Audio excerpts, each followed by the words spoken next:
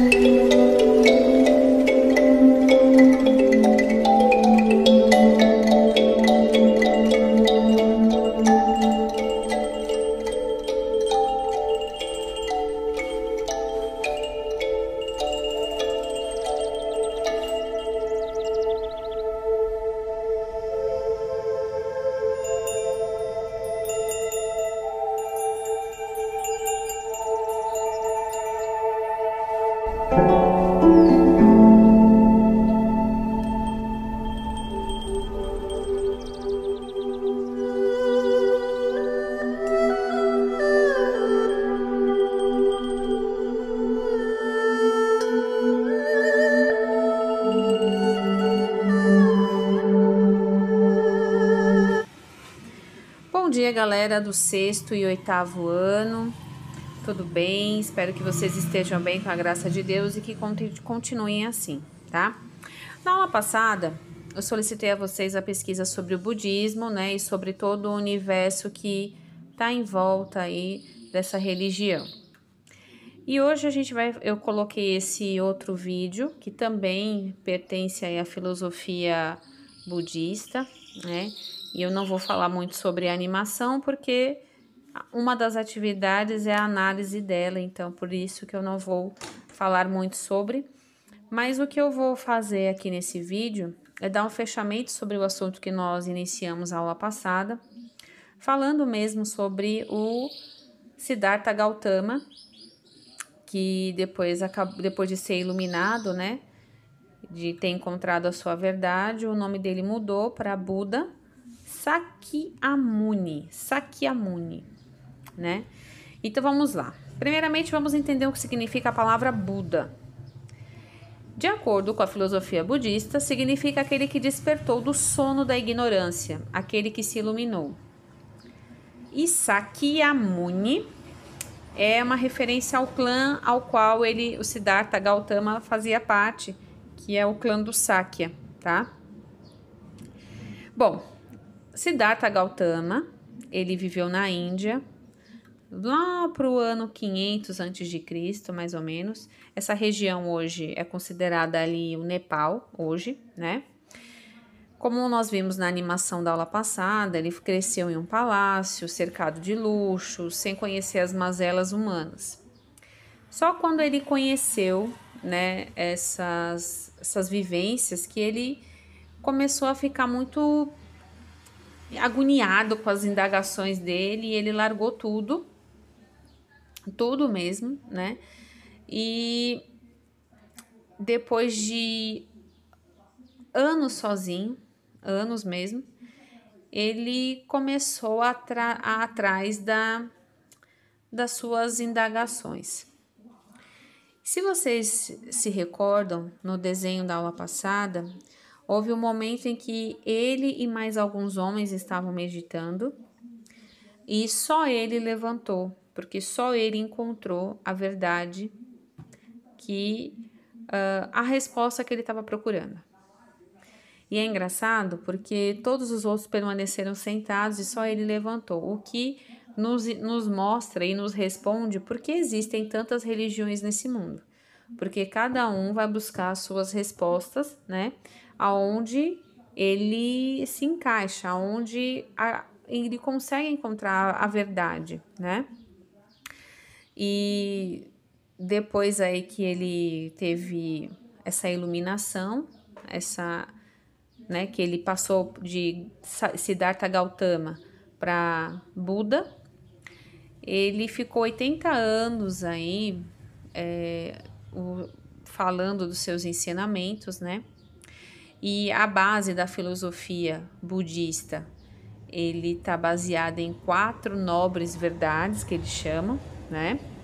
Mas o, o grande X mesmo da questão, o grande, a grande filosofia do budismo é, né? É evitar as ações não virtuosas, ou seja, não fazer nada errado, né? Fazer o bem e dominar a própria mente. E essa essas duas últimas, para mim, é a coisa mais, mais, mais, mais, mais, né? Fazer o bem, não importa quem, a todo momento, e dominar a própria mente. Lembrando que o grande problema das religiões não são as religiões em si, sim o ser humano que faz parte dela. Porque o ser humano ele deturpa, mas todas as religiões querem a perfeição do ser humano, querem melhorá-lo, quase que não sai a palavra, né? Bom, o budismo nasceu na Índia, é, depois ele se espalhou pela Ásia, mas não ficou só nesses lugares, né? Ele ganhou adeptos também na Europa, temos é, adeptos aqui no Brasil também do budismo, enfim. O grande, o grande é, X da questão do budismo, né, é a procura aí uh, a fuga do sofrimento, né? o que eles querem encontrar mesmo é essa iluminação que Buda encontrou, através do controle mental, através do fazer o bem, né? E então, basicamente era isso que eu gostaria de fechar com vocês nessa aula, porque é extremamente importante que a gente entenda para que a gente consiga respeitar.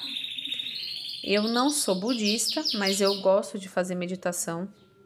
Não tenho a perfeição de Buda, obviamente, né?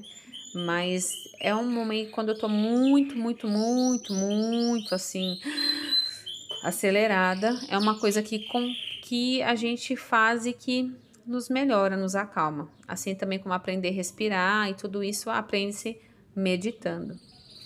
E é, é, é, eu fiquei muito contente de desbravar com vocês esses novos caminhos, é, conhecendo essas religiões, porque através desse momento nós vamos conhecer outras culturas também, como nós fizemos com a cultura judaica, como nós estamos fazendo agora através do budismo, conhecendo as pessoas que moram nesse país chamado Índia e que se vestem de maneiras diferentes e que são politeístas. Existem vários deuses indianos que têm uma postura diferente, que suas danças são diferentes, suas comidas, suas músicas, né?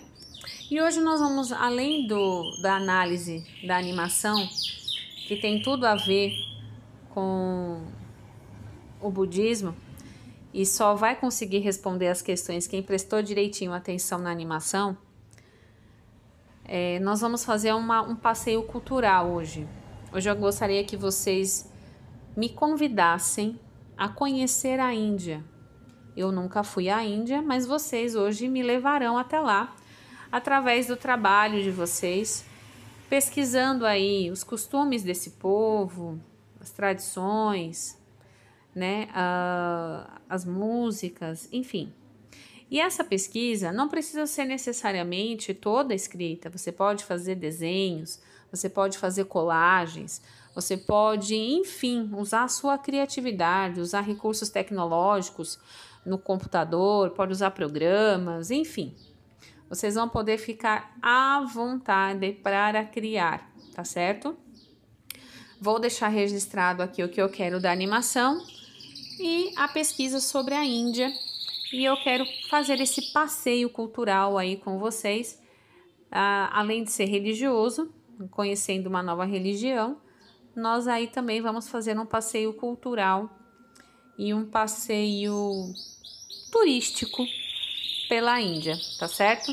Fiquem com Deus e até a nossa próxima aula, se Deus quiser. Namastê!